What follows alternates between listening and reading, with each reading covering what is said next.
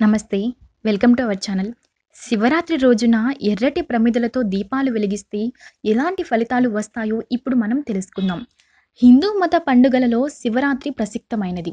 ప్రతి ఏటా మాఘ బహుళ చతుర్దశి నాడు మాస శివరాత్రిని మనం జరుపుకుంటాము. శివుడు ఈ రోజే లింగాకారంగా ఆవిర్భవించాడని శివ పురాణంలో ఉంది. అలానే ఆదిదేవుడు నీలకంఠునిగా మారిన రోజు కూడా ఈ రోజే. అలాగే ఆ మహాదేవుడు చంద్రశేఖర్ అయిన రోజు కూడా ఈ రోజే. అదేవిధంగా మృత్యుంజయ మంత్రం ఆవిష్కరణ జరిగిన రోజు కూడా ఈ రోజే. అలాగే పరమేశ్వరునితో పార్వతీదేవికి కళ్యాణం జరిగిన రోజు కూడా ఈ మహాశివరాత్రి రోజే. ఇంత గొప్పదైన ఈ రోజున మనం ఆ పరమేశ్వరుణ్ణి ఒక్కసారి ఓం నమ శివాయ అని ఒక్కసారి శివ పంచాక్షరి అని పలికినా చాలు సకల పాపాలు తొలగిపోతాయి. అలాగే ఆయన మృత్యుంజయ మంత్రం ఓం త్రయంబకం యజామహిం సుగంధిం పుష్టివర్ధనం ఉర్వారుకమివ బంధనాత్ మృత్యోర్ముక్షీయ మామృతాత్ అని ఒక్కసారి పలికినా చాలు.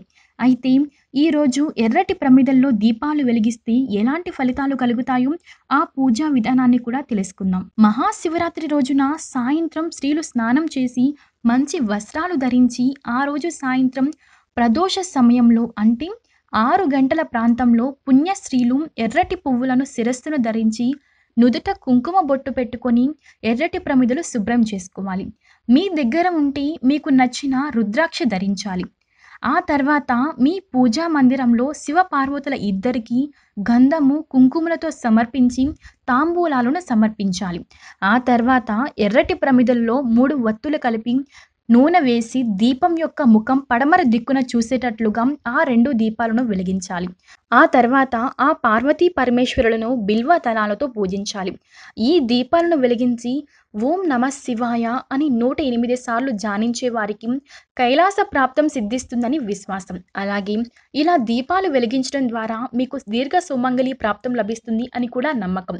లేదా ఈ ఎర్రటి ప్రమిదలను తీసుకుని దూదితో ఐదు వత్తులు చేసి ఐదు ముఖాలుగా చేసుకొని ఆ వత్తులు చేసి దీపాలను వెలిగించవచ్చు.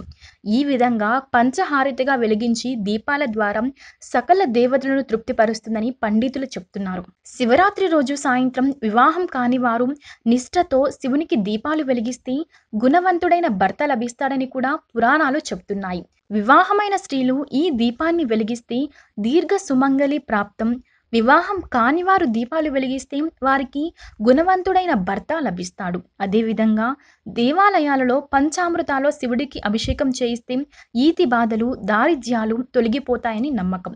ఆలయాల్లో శివ కళ్యాణము నూట ఎనిమిది బిందెలతో రుద్రాభిషేకం చేయిస్తే ఒక అశ్వమేధ యాగం చేసిన ఫలితం లభిస్తుందని పురాణాలు చెప్తున్నాయి. ఇలా శివరాత్రి రోజున దీపం వెలిగించడం వలన విశేషమైన పుణ్య ఫలితాలను పొందుతారు. ఈ వీడియో కనుక మీకు నచ్చినట్లయితే లైక్ చేయండి షేర్ చేయండి. ఇలాంటి మరిన్ని వీడియోస్ కోసం మా ఛానల్ సబ్స్క్రైబ్ చేయండి.